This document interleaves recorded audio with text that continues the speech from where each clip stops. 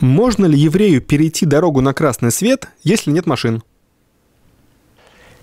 Ой, вопрос какой хороший, да, это самое, перейти дорогу на красный свет, посмотреть направо, налево, э, в перспективе нет никаких машин, и можно быть уверен, что ничего не случится. Можно ли пройти на красный свет, чтобы впустую время не терять? Э, очень хороший вопрос. Надо здесь, видимо, его расчленить на несколько ситуаций разных. Но я начну сначала с одной вещи, которую только прошу не пугаться, э, в качестве как бы э, небольшого э, э, небольшого начала такого, да. Был такой каббалист э, Рав Атия, если я не Рав Атия, который, если не ошибаюсь, э, э, сефардский каббалист, э, известный очень.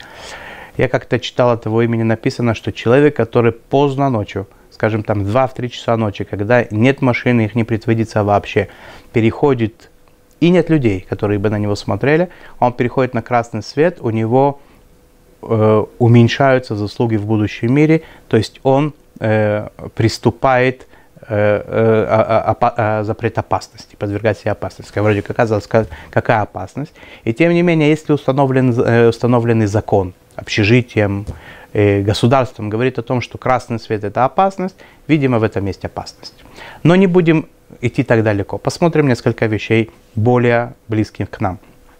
Если там находятся дети, так это может быть опасно очень, потому что э, я-то знаю, когда э, правильно перебежать дорогу, чтобы не попасть под машину. Не всякий ребенок может это сделать. Не всякий ребенок может э, правильно рассчитать свои силы и скорость надвигающейся машины. Если там находятся люди, которые соблюдают законы э, э, э, пешеходов, законы э, уличного движения, это может быть охуление имени Творца, потому что когда видят религиозного человека, который является нарушителем, это вызывает э, негативное отношение к представителям религии и к религии э, как таковой. Э, я уже не говорю о том, что есть такой момент, что надо э, почитать и исполнять законы того государства, где мы находимся. По всему этому надо сказать, что лучше подождать несколько минут и не, не, не, не, не делать одного из этих нарушений, которые я перечислил. Пять минут сэкономишь, жизнь потеряешь.